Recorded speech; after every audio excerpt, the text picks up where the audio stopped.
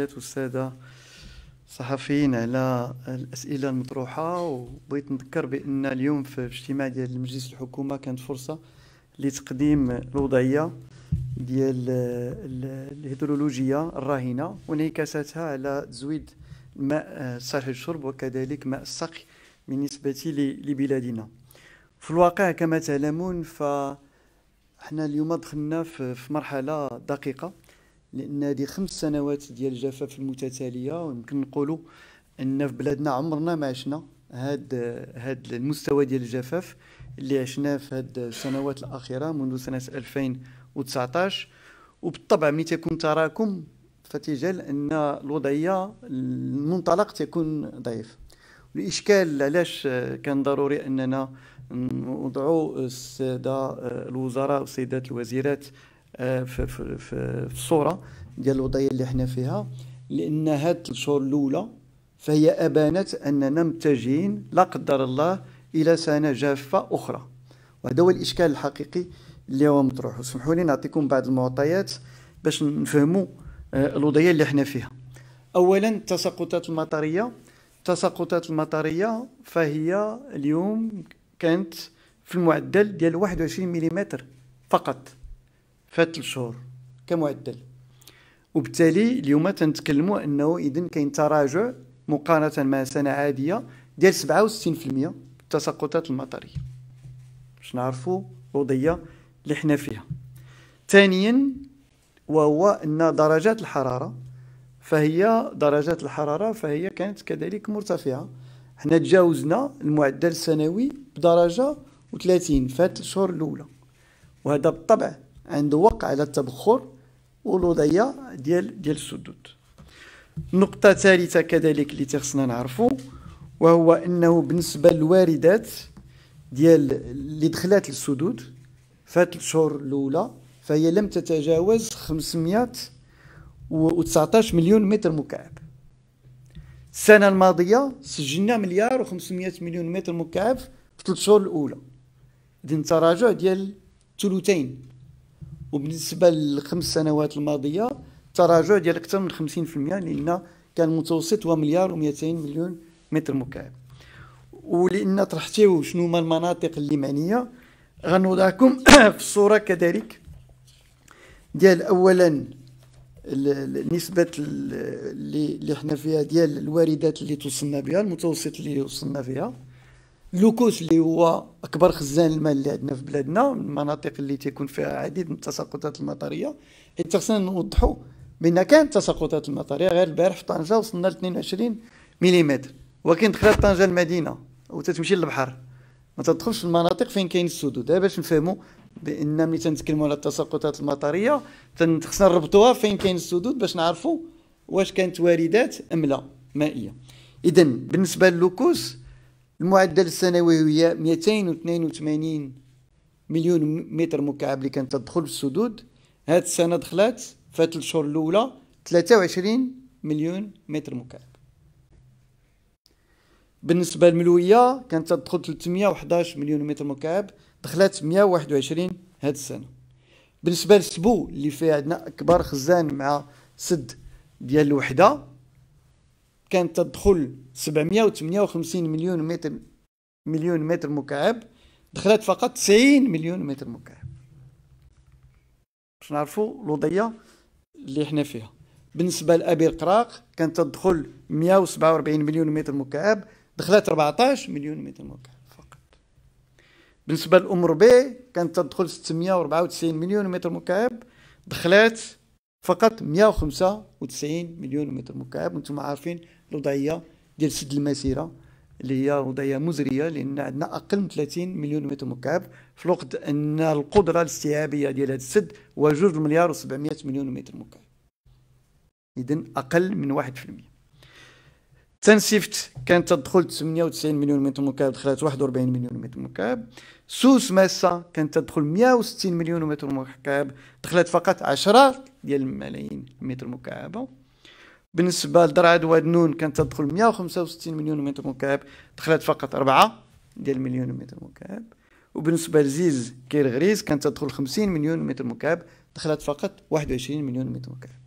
اذا توضح لكم الصورة ديال انه الإمدادات والواردات المائية فهي يمكن نقولوها وصلنا لواحد الوضعية خطيرة جدا. وهذا عمرنا ما كنا تنتصوروا أننا يمكن نوصلوا لهذا الحد. بالنسبة لهذه السنة. وبالطبع هذا كان عنده وقع على نسبة ملء السدود. النسبة اليوم فهي لا تتجاوز 23.5% واللي أي عندنا واحد 3 مليار و700 و 790 مليون متر مكعب. السنة الماضية اللي كانت سنة جافة كذلك كنا في 31% ديال ملء السدود. اذا عندنا تراجع ديال سبعة النقط مقارنة مع السنة الماضية وبالتالي نسبة السدود بالنسبة لسوس ماسا هي 11% بالنسبة لام ربيع فهي فقط 4.75% بالنسبة للملوية فهي 25% بالنسبة للوكوس 39% بالنسبة للكيرزيز غريس فهي 27% بالنسبة لدرعا ودنون 20% وبالنسبة لسانسيفت هي 46% اذا هذا وعاد معلوم الساقية الحمراء أنتم عارفين بأن النسبة فهي ضئيلة جدا.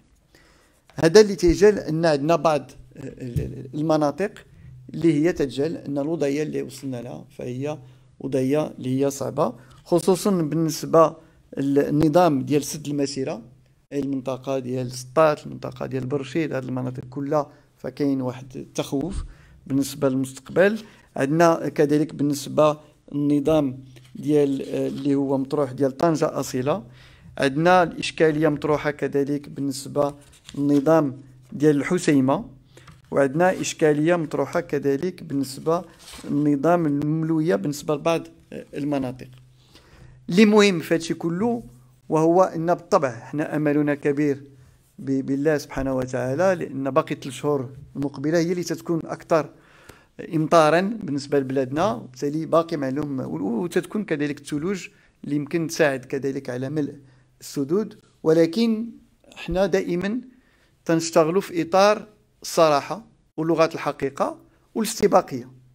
هذا اللي تيجعل أنه كان من الضروري أنه الحمد لله خدينا العديد من التدابير اللي كان كما كنا خديناش خديناش بحال بالنسبة للربط المائي ما بين السبو والابرقراق طبقا للتوجيهات الملكية لا كانت حتى الحوض ديال الرباط والمنطقة الضابطة كانت غتكون مضرورة. إذا لم الحمد لله راه عندنا خصنا نعرفوا بان تدخل مليون و300 ألف متر مكعب يوميا ابتداء من من أواخر شهر أكتوبر. وهذا الأمر جعل أنه جعل أن هاد الساكنة ديال هذه المناطق فهي ما, ما, ما غتضررش بالقدر في هذا الإطار. وهذا بفضل هذا المجهود اللي دار. زيادة على بالطبع برامج ديال تحليات المياه واللي درنا تسريع فيها كما تعلمون بالنسبة الجديده وآسفي بفضل المكتب الشريفي للفوسفات. آسفي 30% ديال الماء سعر الشرب تجي دابا من تحليات المياه. وابتداء من شهر يناير المقبل إن شاء الله بالنسبة للجديدة كذلك غتستافد كذلك من تحليات المياه بكيفية آه، تدريجية. وبالطبع والتسريع في وتيرة إنجاز البرنامج اللي آه، كنا رفعناه جلاله الملك وتم المصادقة عليه في إطار الجلسه العامة اللي ترأسها جلاله الملك ديال العديد من من من المحطات ديال تحليات المياه وكذلك تعطى انطلاقا إن شاء الله ابتداء من يناير المقبل بالنسبة للمحطه ديال تحليات المياه ديال الدار البيضاء اللي كما تعلمون المكتب الوطني للماء الشرب هو اللي شرف على هاد على هاد العملية واللي جعل إنه الصفقة فهي تعطات لواحد المجموعة ديال ديال المستثمرين واللي عطات أقل ثمن تاريخيا في بلادنا. هي أربعة أقل من أربعة ونص ديال الدراهم. أربعة دراهم ونص. المتر المكعب آه، بالنسبة باش نعطيكم واحد الفكرة بالنسبة للماء اللي هو تحليات المياه اللي دارت آه، دابا مثلا في أكادير فالكلفة هي ديال عشرة دراهم المتر المكعب وبالنسبة للمكتب الشريف الفوسفات الكلفة هي خمسة دراهم و88 باش نعرفوا وبالتالي حنا لأن التوجه هو استعمال الطاقات المتجددة. وبالتالي حتى الدخل إن شاء الله يكون كذلك الثمن اللي هو اللي هو غيكون آه، قليل. وهذا وهذا هو التوجه اللي مشات فيه هذه الحكومة بالنسبة للمحطات المقبلة كلها غدار بالطاقات المتجددة باش نقلصوا التكلفة على الماء على بالنسبة للماء سريع الشرب بالنسبة للساكنة وكذلك بالنسبة للفلاحة لأن كاين مناطق سقوية اللي غتستافد كذلك من تحليات المياه. ثم تباتيو كذلك إنه آه، في إطار الاتفاقية الشراكه اللي تم الامضاء عليها من طرف جلاله الملك محمد السادس دو الله ورئيس دولة دولة الإمارات العربية المتحدة. فكاين كذلك هذه الجوانب ديال تحلية المياه وبالتالي غتكون استثمارات كذلك في هذا الإطار. واللي يمكن ناكد لكم بأن إن شاء الله هاد المحطات المقبلة كلها إن شاء الله غتنطلق ابتداء من سنة 2024 طلب العروض باش تنطلق هاد هاد الصفقات في إطار آه، كذلك آه، هاد هاد الاستثمارات المقبلة. أخيرا وهو أنه حنا المسؤولية ديالنا كحكومة وهو أننا نديروا الاستباقية بحال اللي قلت وأننا نديروا هذا الإنذار المبكر باش نتخذوا التدابير اللازمة. والتدابير اللازمة بالطبع كاين مجهودات اللي غدار في مجال العرض ولكن كاين مجهودات اللي تخصها كذلك في مجال الطلب. وفي مجال الطلب أنتم عارفين بأن عندنا مشكل كبير ديال العقلانة ديال استعمال الماء. وطرحنا عدة مرات وراه تبعتيو معنا عدة تدخلات لا في البرلمان ولا مع كذلك المهنيين في هذا الإطار. وكاين إشكالية ديال النجاعة المائية لأن كاين العديد ديال الماء اللي تيمشينا في القنوات. وكاين إشكالية ديال إهدار آه، الماء. ونقولها بكل صراحة عندنا مشكل ديال التبدير. والمشكل لا يزال مطروح رغم كل ما قمنا به في إطار التحسيس إلى آخره.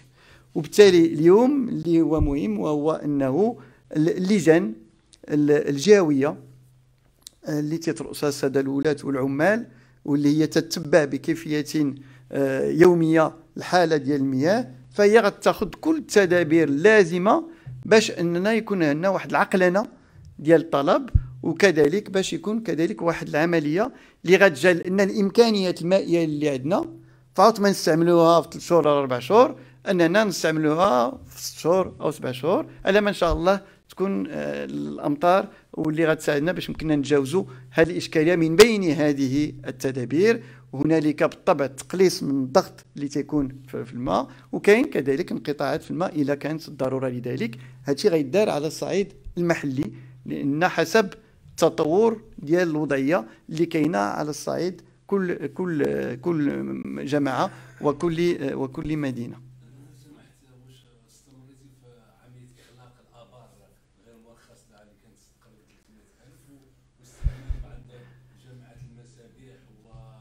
هادشي كله شوف هاد هاد الأمور كلها اولا آه، أنتم عارفين بأن هاد العملية فهي مستمرة. لأساسي وهو أنه اليوم إحنا تنتكلموا على جوج النقط اللي هي مهمة. النقطة الأولى وهو تزميد الساكنة بالماء سهل الشرب لأن تطرح هذا السؤال. الأولوية هو الماء سهل الشرب. وثانيا عندنا السقي. ولكن هذا تجعل أنه في بعض المرات تكون صعوبة ديال التحكيم. ولكن الأولوية اللي عندنا اليوم هو نضمنوا الماء سهل الشرب بالنسبة للساكنة. وأننا المعلوم كل ما أمكن نعطيو الإمدادات اللازمة باش نقدوا ما يمكن انقاذه في مجال السقي. لأن ملي تنتكلموا على السقي تنتكلموا على الامن الغذائي تنتكلموا على تزويد الأسواق بالمنتوجات الفلاحية الضرورية وتنتكلموا كذلك على واحد الرصيد ديال هذوك الفلاحة الصغار مساكن اللي هما بالنسبة لهم هذاك هو الحياة ديالهم هو هو كل شيء هو رأس المال اللي عندهم. وبالتالي هذا هو الصعوبة اللي عندنا باش كيفية باش يمكننا ندبروا هذه المرحلة. حنا اللي يمكن نقول لكم بان ما يمكننا نشتغلوا إلا في إطار الشفافيه مع المواطنات والمواطنين في إطار المسؤولية وفي إطار كذلك أننا نتحمل جميعا المسؤولية في هذا الوضع الصعب اللي إن شاء الله اللي غنتجاوزوه بفضل الله سبحانه وتعالى. والسلام عليكم ورحمة الله تعالى وبركاته. ما تخرجوا ما تنساوش تابوناو في لاشين يوتيوب وبارطاجيو هذا الفيديو مع أصحابكم. وما تنساوش ديروا جيم الموقع احاطه على شبكات التواصل الاجتماعي.